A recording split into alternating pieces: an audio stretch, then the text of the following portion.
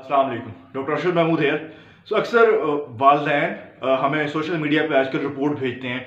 और ये सिर्फ़ मेरे साथ नहीं, बल्कि अक्सर डॉक्टर के साथ होता है कि रिपोर्ट भेजी जाती है और कहते हैं कि डॉक्टर साहब बताते हैं बच्चे की तशखीस क्या है और इसका इलाज क्या है। तो इसको हम ज़रा डिटेल में इस वीडियो के अंदर देखेंगे।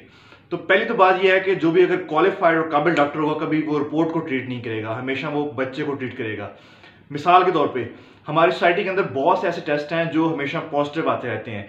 जैसे टाइफाइड के दो टेस्ट हैं, टाइफी और विडाल टेस्ट तो हमेशा पॉजिटिव आते हैं। अगर आप उनको ट्रीट करते रहेंगे तो पूरी उम्र ट्रीट नहीं हो पाएँगे। इस तरह कुछ और टेस्ट हैं, जैसे कि हेपेटाइटिस सी का टेस्ट है एंटीबॉडीज़ का, वो पूरी ज़िंदगी पॉजिटिव आता है। आपने पीसीआर से देखना होता है कि वो उसका वायरस अभी प्रेजेंट है बॉडी के अंदर या नहीं है। तो पहली तो बात इंपॉर्टेंट ये है कि अपने बच्चे को ट्रीट करना है, कभी भी रिपोर्ट को ट्रीट नहीं करना। सेकंड चीज़ ये है कि जब भी रिपोर्ट आपके पास कोई आती है तो डॉक्टर का काम यह है कि सबसे पहले वो मरीज़ को देखता है तफसीला उसकी हिस्ट्री लेता है कि मरीज़ को मसला क्या है, उसके बाद उसका जो है तफसीली मुआयना होता है और फिर रिपोर्ट की जाती है। रिपोर्ट का मकसद सिर्फ़ उसके तशखीस को कन्फर्म करना होता है, ना कि रिपोर्ट से उसने तशखीस करनी होती है।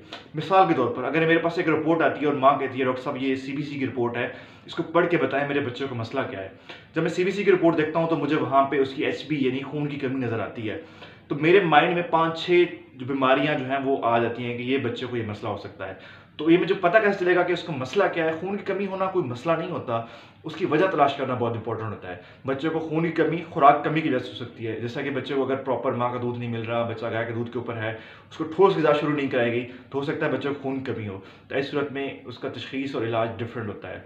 हो सकता है बच्चे को थैलेसीमिया और जिसकी वजह से खून कमी हो रही हो। तो उसके लिए अगेन मुझे बच्चे की तफसील हिस्ट्री चाहिए कि बच्चे को पहले कभी खून तो नहीं लगा। उसकी फैमिली में शादी किस कज़न से हुई है, क्या किसी और बच्चे को खून लगाने का मसला तो नहीं है। और मुआने पर मैं देखूँगा कि बच्चे के जिगर तिली बड़े हुए तो नहीं है। तो ये चीज़ें बहुत इंपॉर्टेंट होती हैं। इस तरह अगर बच्चे को खून की कमी जो है वो आ, कोई और मसाइल जैसे कि हो सकते हैं जैसे कि बच्चों कहीं खून ज़ाया हुआ है उस वजह से वही हो सकता है।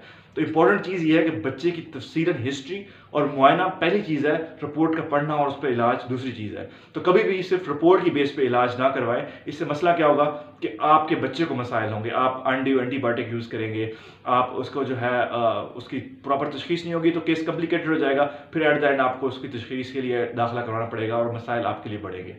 तो हमेशा डॉक्टर को बच्चा चेक करवाएँ, उसकी हिस्ट्री दें और उसका एग्जामिनेशन करवाएँ और फिर उसकी रिपोर्ट चेक करवाएँ। Thank you